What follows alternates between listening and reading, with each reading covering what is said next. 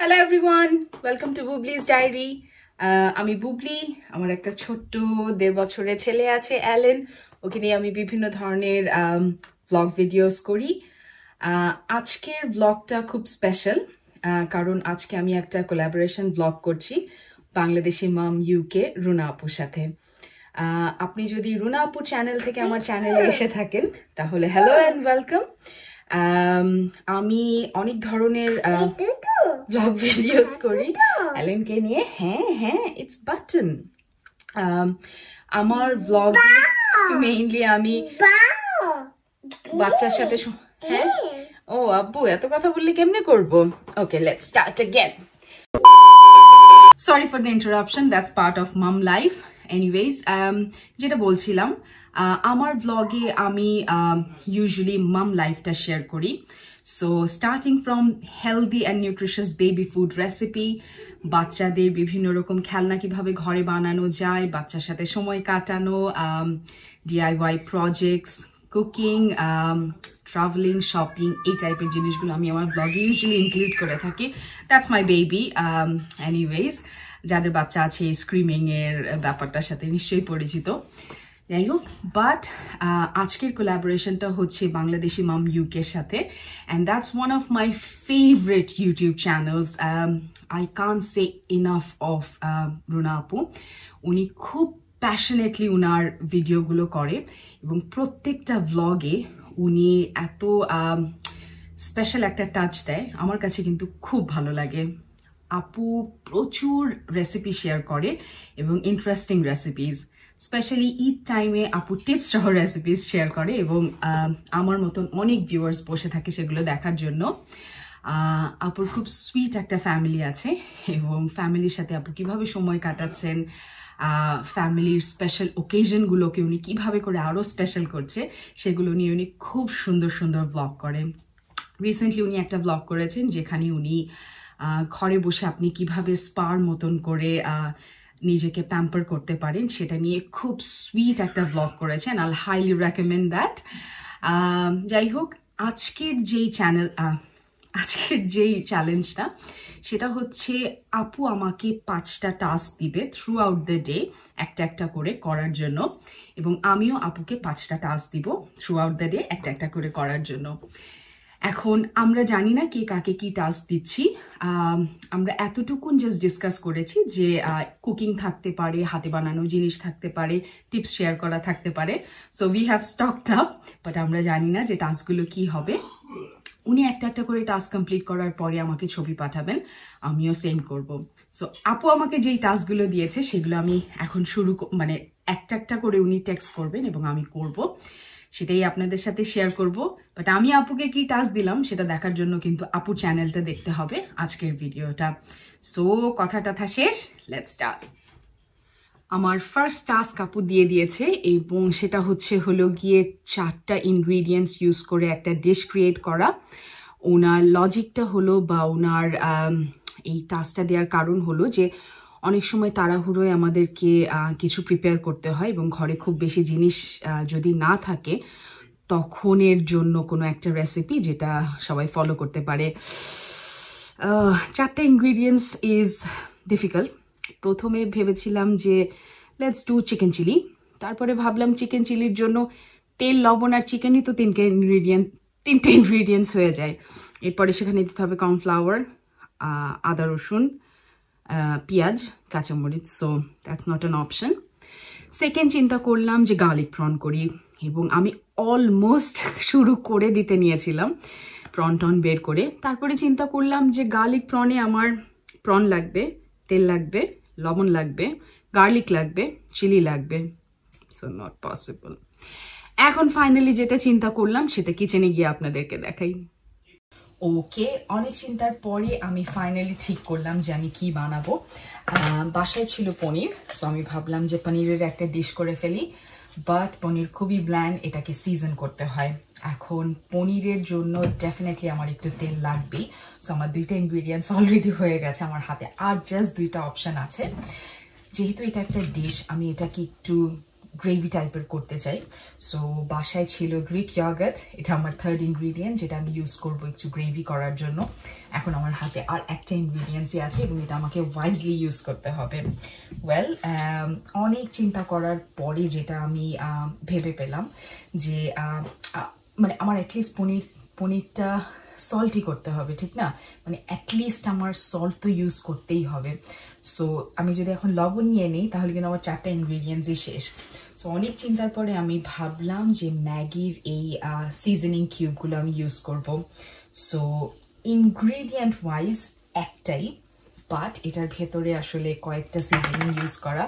আমি জানি না যে বাংলাদেশি মাম ইউকে আমাকে থামস আপ দিবে না থামস ডাউন দিবে but I'm gonna take my risk so আপু বলেছে চারটা জিনিস ইউজ করতে পারব। আমি চারটাই ইউজ করছি, তেল, দই পনির। আর সেই সাথে এই কিউবগুলো আম রিয়েলি নট শিওর যে আপু এটা প্রুভ করবে কিনা বাট আল ট্রাই ঝটপট কাজে লেগে পড়ি ফার্স্টে পনিরটা কেটে নিতে হবে।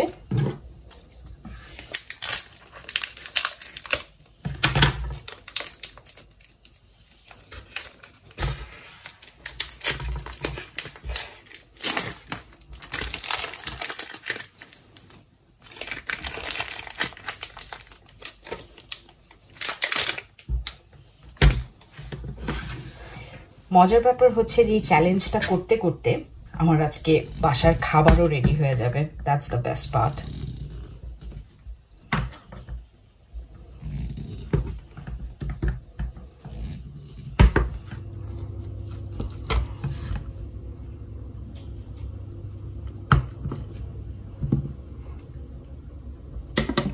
paneer আমার কাটটা রেডি এখন আমি ফাইনাল কাজে চলে যাব। প্যানে আমি সামান্য একটু তেল দিয়ে দিচ্ছি। আমি আমার একটা ইনগ্রেডিয়েন্টস অলরেডি ইউজ করে ফেলেছি তেল। এখন আমি ম্যাগির এই সিজনিংটা ডিরেক্টলি আসলে তেলে ছেড়ে দিব। সো আম নট শিওর কয়টা সিজনিং লাগবে, কারণ এইভাবে করে আমি আগে কখনোই বানাইনি। এটা চ্যালেঞ্জের পারপাজেই আজকে প্রথমবার করছি। So I'll start with two cubes and let's see. Okay তেল এখনও গরম হয়নি বাট আমি একটু আগেই ছেড়ে দিলাম যে জাস্ট এটা তেলের সাথে ভালোভাবে মিক্স করার জন্য। আপু, খুবই সুন্দর একটা চ্যালেঞ্জ আসলে আমাকে দিয়েছে, কারণ এটা যেহেতু চারটে ইনগ্রিডিয়েন্টসের একটা লিমিট আছে চিন্তা করতে হবে এবং এই টাইপের কাজগুলো আমার কাছে বেশ ভালো লাগে। কারণ আপনি যখন একটা প্রেশারে থাকেন, তখন কিন্তু আসলে বিভিন্ন রকমের আইডিয়াস আপনার মাথায় আসে। আমার তেল গরম হয়ে গেছে, আমি এখন পনির ছেড়ে দিব। দিয়ে দিচ্ছি আমার থার্ড ইনগ্রিডিয়েন্টস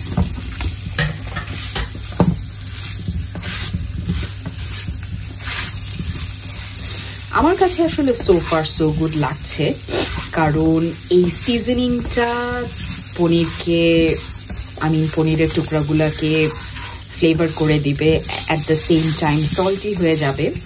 সো ফাইনালি যখন আমি ইয়গারটা দিব, আমার কাছে মনে হয় সুন্দর একটা গ্রেভি এবং ভালো একটা ডিশ হবে।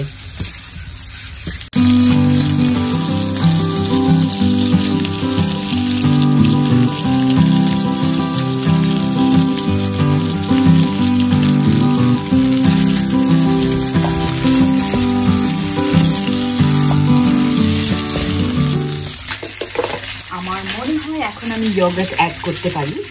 তো আমি দুই টেবিল চামচ ইয়োগার্ট প্রথমে দিলাম।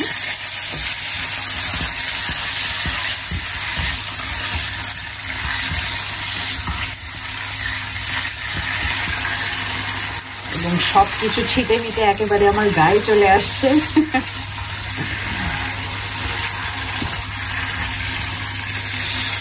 আমি একটু ইয়োগার্ট দিয়ে দিব, তিন টেবিল চামচ ইয়োগার্ট চারই দিয়ে দিই। আপু তো আর লিমিট দেয়নি আমাকে, শুধু বলেছে যে চারটা ইনগ্রিডিয়েন্টসের বেশি ইউজ করা যাবে না।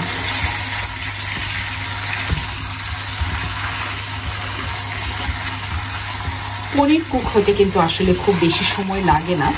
সো আপু আমাকে মেসেজে যেটা লিখেছিল যে, এমন একটা কিছু যেটা চারটে ইনগ্রিডিয়েন্টস দিয়েই হয়ে যায়। এবং বাসায় হঠাৎ করে গেস্ট চলে আসলে আমরা তাড়াতাড়ি করে ফেলতে পারি। সো এটা করতে আমার অল টুগেদার বোধ হয় পাঁচ মিনিট সময় লাগছে বা অ্যাটলিস্ট আমি বলব দশ মিনিটের চেয়ে কম। সো আমি মনে করি এই দেশটা যদি লবণ টবণ সব কিছুর দিক থেকেই ঠিক থাকে, তাহলে আপনারা বাসায় ট্রাই করতে পারেন। বাট আমি ফাইনালি এটা খেয়ে দেখব যে কীরকম হয়েছে।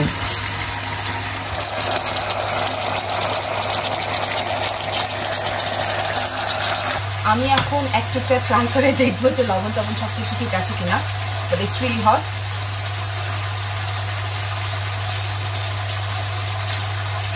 পারফেক্ট লবণ ঠিক আছে।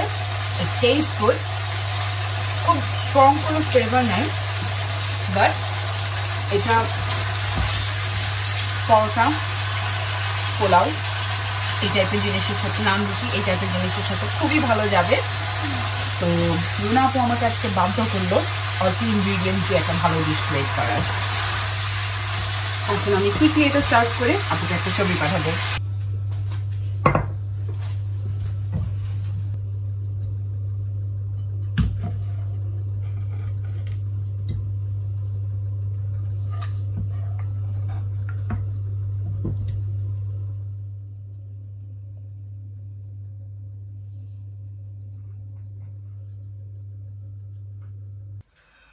ওকে আপু আমাকে সেকেন্ড টাস্কটা দিয়েছে, যেটা হচ্ছে ঘরের জিনিস ইউজ করে বা বাসায় যা আছে সেটা দিয়ে আমার যে ছোট্ট ছেলেটা আছে অ্যালেন, ওর জন্য কোনো একটা খেলনা বানাতে। সো আমি অনেকক্ষণ চিন্তা করে কয়েকটা জিনিসের প্ল্যান মাথায় আছে। এগুলো অনেক দিন থেকেই করতে চাচ্ছিলাম এবং আলসামের কারণে করা হচ্ছিল না। I think now is the right time to do that DIY ঘরে বানানো খেলনা বানানোর জন্য আমি ইউজ করব আজকে বেলুন, সাথে লাগবে ময়দা, একটা ফ্লানেল এই স্ট্রিংসগুলো লাগবে, আর দরকার হচ্ছে একটু রং। আমি এই মুহূর্তে পেন দেখাচ্ছি বাট রং ইউজ করব। এনিওয়েজ লেটস স্টার্ট একটা বেলুন ফুলিয়ে নিয়েছি, আর একটু বলে নিই যে প্ল্যানের একটু চেঞ্জ হয়েছে। আমি প্রথম দুইটা ফ্লানেল দিয়ে করেছি উইচ ইজ ডিফিকাল্ট এখন আমি একটা ডিফারেন্ট ওয়েতে করছি। সো রাবার বেঁধে নিলাম বেলুনের মাথায়, আর একটা শিশিতে আমি ময়দা নিয়ে নিয়েছি। এই শিশিটা চেষ্টা করবেন খুব মানে চওড়া মুখের যাতে না হয়। এখন সেখানে বেলুনটা বেঁধে দিলাম। আসলে ভিডিওতেই হয়তো বোঝা যাচ্ছে। আমি তারপরও মুখে বলে এক্সপ্লেন করছি। এবং এখন রাবারটা আমি কেটে দিলাম। রাবারটা আপনাকে স্যাক্রিফাইস করতেই হবে there is no other way এইবার শিশিটা এরকমভাবে শেক করতে থাকলে, বোতলের মধ্যে যেই ময়দাটা আছে, সেটা আস্তে আস্তে আস্তে আস্তে বেলুনের ভেতরে যেতে থাকবে। কাজটা করতে কিছুটা সময় লাগে বাট অধৈর্য হওয়া যাবে না। আর খুব যদি আপনি তাড়াহুড়ো করে করার চেষ্টা করেন, অনেক সময় বেলুনটা খুলে আসে এবং কিচেন বা আপনার গায়ে টায়ে কিন্তু একদম ময়দা দিয়ে একাকার হয়ে যাবে। আমার হয়েছে, এ কারণেই আমি সাবধান করে দিলাম। সবটুকু ফ্লাওয়ার বেলুনের ভেতরে চলে যাওয়ার পরে আস্তে করে খুব সাবধানে আপনার বেলুনটা ডিট্যাচ করতে হবে এবং এরপরে একটু সাবধানে সমস্ত বাতাস বের করে আনতে হবে। মানে যতটুকুন খালি জায়গা আছে। এই কাজটাও আপনি খুব তাড়াহুড়ো করে করলে একদম ময়দা কিন্তু ছিটে আসবে। এরপরে একটা গিট দিয়ে দিচ্ছি। And main part is done এই জিনিসটা কিন্তু হাতের এক্সারসাইজের জন্য খুবই ভালো। সো শুধু খেলনা না, হাত, হাতের হাতের যাদের পেইন আছে, তারা ইউজ করতে পারেন। এইবার আমি একটা সাইন পেন দিয়ে একটু আঁকিবুকি করছি। আমার মেইন টার্গেট হচ্ছে এগুলো দিয়ে আমি ছোট ছোট ভূত বানাবো। দরকার ছিল আসলে একটা পারমানেন্ট মার্কারের মতন কিছু একটা বাট আমি অনেক খুঁজেও আসলে পাইনি। আর চ্যালেঞ্জগুলো যেহেতু সকালবেলায় জানা সো ওইভাবে করে আসলে সব কিছু তো হাতের সামনে রেডি ছিল না। বাট এই সাইন পেনটা আমার শুকাতে দেওয়ার জন্য কিছুটা টাইম দরকার ছিল, যেটা আমি পাইনি। এখন জাস্ট আমি একটু ফার্দার ডেকোরেট করার জন্য এই টাসলগুলো দিয়ে চুলের মতন করে করে দিচ্ছি। It's just use your imagination যেভাবে করে আপনার ভূত সাজাতে ভালো লাগে, সেভাবে করেই আপনি ভূত সাজাবেন। আমি আরও একটা কথা বলে রাখি যে ডিআইওয়াই হোমমেড খেলনা বানানোর জন্য আমি প্রথমে নিয়েছিলাম একটা এমটি টিস্যু বক্স সেটা দিয়ে যেটা করতে চেয়েছিলাম সেটা হয়নি। এরপরে আমি নিয়েছিলাম আরও একটা জিনিস, সেটাও হয়নি। এটা হচ্ছে আমার থার্ড অ্যাটেম্প যাই হোক সেকেন্ড ভুট্টা বানানোর জন্য আমি কিছু গুগলি আইস ইউজ করব। এই গুগলি আইসগুলো সবসময়ই আমার বাসায় থাকে এবং এগুলো দিয়ে আমি অন্যান্য ক্রাফটসও করি। সো ভবিষ্যতে হয়তো কখনো একটা করে দেখাবো। অ্যানিওয়েজ আমি দুইটা মিডিয়াম সাইজের বা ছোট সাইজের চোখ নিয়ে নিলাম এবং গ্লু ইউজ করে আমি এখন এগুলো বেলুনের মধ্যে বসাবো।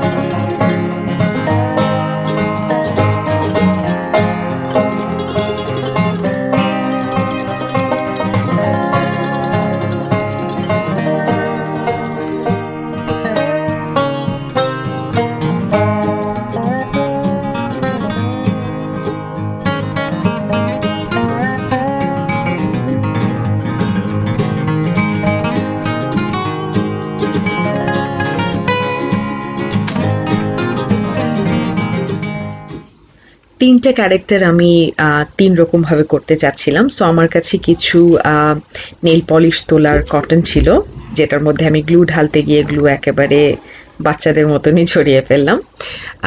সো এইটাতে আমি চুল বানানোর জন্য এই কটনগুলো ইউজ করছি। যেহেতু এগুলো গোল গোল করে শেপ করাই থাকে, সে কারণে আমার ঝামেলা কিছুটা কম হলো। বাট এই টাইপের পাতলা গ্লু দিয়ে কোনো কিছু সেট করার জন্য ইনাফ টাইম দিতে হয়। আমার হাতে আসলে অতখানি সময় ছিল না। আমার তিন নম্বর ক্যারেক্টারটাও অলমোস্ট রেডি জাস্ট একটা লাস্ট চুলের পোর্শন বসিয়ে দিচ্ছি।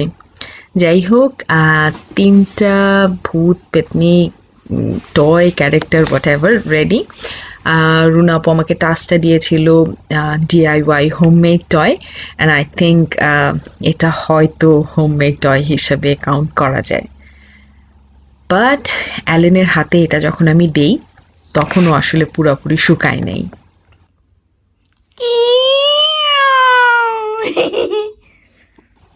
লিটল ডিসক্লেমার ড্রয়িং রুমটা একেবারে কমপ্লিটলি খেলনা দিয়ে ছড়ানো ছিটানো। তার কারণ হচ্ছে আজকে যেহেতু আমি এই চ্যালেঞ্জ ভিডিওটা করব তাই অ্যালেনকে আসলে সমস্ত খেলনা নামিয়ে দিয়েছি যাতে সে এগুলো নিয়ে বিজি থাকে আর আমি আমার ভিডিওগুলো শান্ত মতন করতে পারি।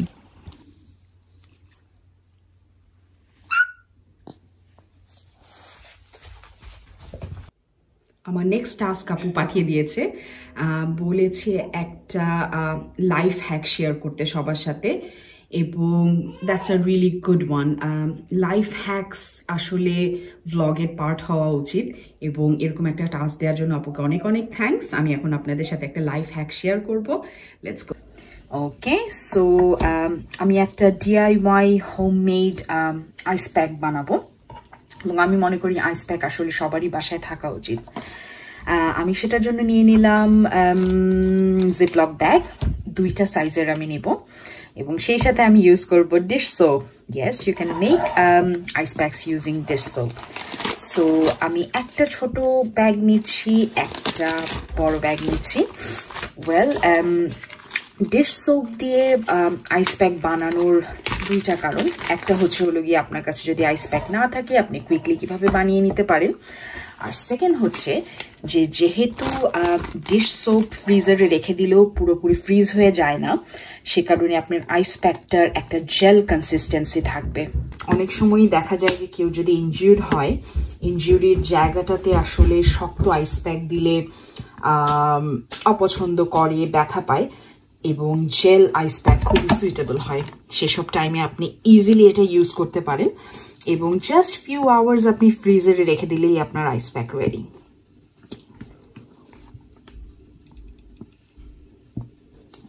ওকে মোটামুটি এতটুকুনি আমি দিব এবং খুব ভালোভাবে বাতাসটা বের করে তারপরে সিল করে দিচ্ছি।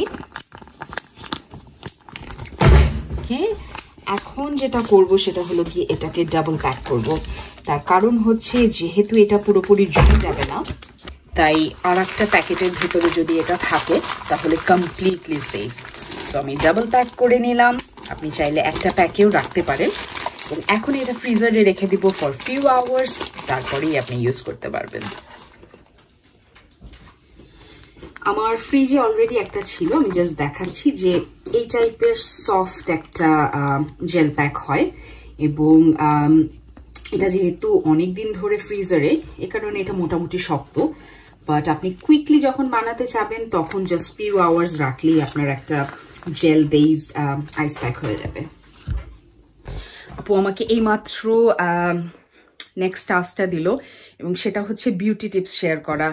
আপু chose the wrong person am not a beauty person so অনেকক্ষণ আসলে আপু মেসেজটা করেছি বেশ কিছুক্ষণ। কিন্তু আমি চিন্তা করেও আসলে কিছু পাচ্ছিলাম না। কারণ as I said am not a beauty person but মাথায় একটা সিম্পল জিনিস আসলো। এটা খুব ইউজফুল সো আমি শেয়ার করছি। It's just about our skin and water so আমার বিউটি ইনগ্রিডিয়েন্টের মধ্যে সবচেয়ে প্রিয় হচ্ছে পানি। আমি সেটা নিয়েই একটা টিপস দিই। যখন আমরা সকালবেলা মুখ ধুই, সাবান দিয়ে ফেস ওয়াশ দিয়ে ফেস স্ক্রাব দিয়ে হোয়াট দিয়ে তখন সিস্টেমটা হলো আপনার প্রথমে গরম, হালকা কুসুম গরম পানি দিয়ে মুখটা ধুতে হবে। এতে করে আপনার স্কিনের পোরগুলো ওপেন হবে। এরপরে আপনি ফেস ওয়াশ সাবান যেটাই আপনার পছন্দ সেটা দিবেন এবং তখন সেগুলো ভিতরে ঢুকে ময়লাটা বের করে আনবে। এরপরে আপনি মুখ ধোয়ার পরে ফিনিশিং দিবেন হলো গিয়ে ঠান্ডা পানি দিয়ে। এতে করে আপনার পোরগুলো আবার বন্ধ হয়ে যাবে এবং ডার্ট সহজে ঢুকবে না। এই সেম জিনিসটা আপনি ফেস মাস্ক ইউজ করার সময়ও করতে পারেন। যে মাস্ক ইউজ করার আগে হালকা গরম পানি দিবেন, দিয়ে মুখটা ধুবেন এবং ফাইনালি ঠান্ডা পানি দিয়ে শেষ করবেন। দ্যাটস মাই টিপ আমি জানি না আপু এটাকে অ্যাপ্রুভ করবে কি না but that's the best I could do am not a beauty person okay আমি বাংলাদেশে মাম ইউকের ফাইনাল লাস্ট টাস্টার মেসেজ পেয়ে গেছি। আপু বলেছে যে চোখ বন্ধ করে আমাকে আউটফিট ফিক্স করতে হবে, যেটা আমার কাছে সারাদিনের সবগুলো টাস্কের মধ্যে সবচেয়ে ডিফিকাল্ট মনে হয়। এখন কীভাবে জিনিসটা করব আমি ঠিক বুঝতে পারছি না but it's challenging and I think it's fun এখন কাপড় চোপড়ের মধ্যে টপসের মধ্যে থাকতে পারে টি শার্ট জাম্পার ড্রেস পরি, কামিজ পরি। এছাড়া লেয়ার আপের জন্য সোয়েটার থাকে কার্ডিগান থাকে আরও বিভিন্ন জিনিস থাকে। বটমের মধ্যে আছে জিন্স লেগিংস প্যান্ট সালোয়ার এগুলো আছে। এবং সেই সাথে আমি বোধহয় একটা পাইল রাখব যেটাতে স্কার্ফ ফর অ্যাক্সেসরিজ থাকবে। সো জিনিসটা হচ্ছে হলো গিয়ে যে আমার আলমারিতে কি আছে সেটা আমি জানি সো আমি অন্য একজনকে বলছি, আমার হাজব্যান্ডকে বলছি যে কয়েকটা কাপড় সেখান থেকে বের করে পাইল আপ করার but I don't trust him সে হয়তো পচাগুলো বের করে রাখতে পারে but I don't have any other choice so pile pile করে রাখবেও, তারপরে আমি বন্ধ, চোখ বন্ধ করে সেখান থেকে চুজ করব এবং ফাইনাল আউটফিট যদি বাকের ভাইয়ের মতন হয়, তাহলে বাকের ভাই, আর যদি সুন্দর কোনো আউটফিট হয়, তাহলে সুন্দর। It's fun entertainment so I'll get started ready hmm. Ready Ellen ready আব্বু যাও ও আমার কাছে চলে আসছে। আচ্ছা um, এখানটায় কি আছে? সেটা তো বললে আর কি কিন্তু আমার তো একটা টপস একটা বটম আর স্কার্ফ আরই তুমি হাত দিয়ে বুঝো।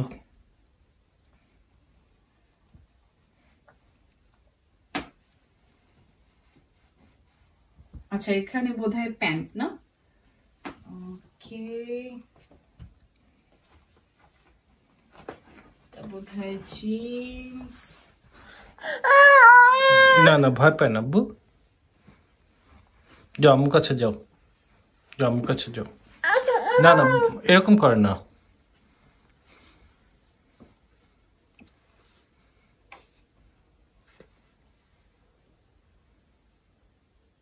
ওকে আমি চুজ করছি একটা এখানে রাখলাম হুম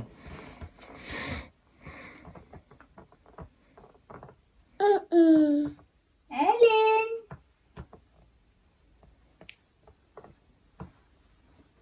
কি আব্বু ভয় পায় কেন ভয় পায় না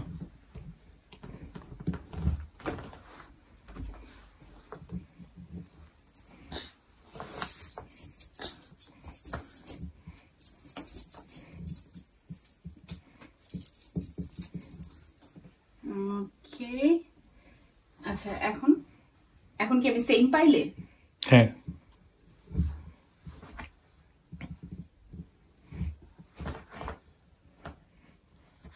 আব্বু আমাদেরকে দিয়ে লেডিস এর কাজ করাইতেছে লেডিস কাজ বলে আমরা we are not happy we are scared Ellen not happy? Ellen not happy? Okay. তুমি বলছিলে চারটা পাইল করছ না? হুম।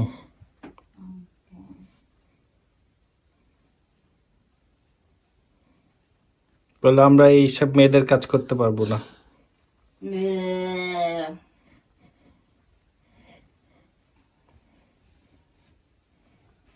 ওকে। চারটা জিনিস চুজ করা যায় যাও এখন আম্মু আম্মু কাছে যাও।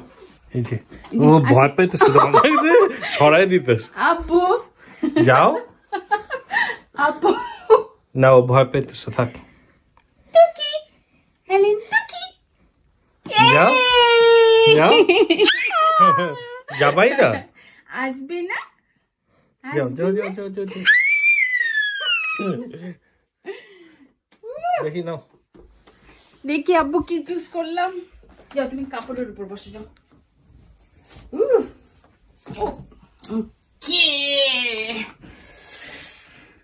হ্যাঁ চেঞ্জ করে নিও না আবার।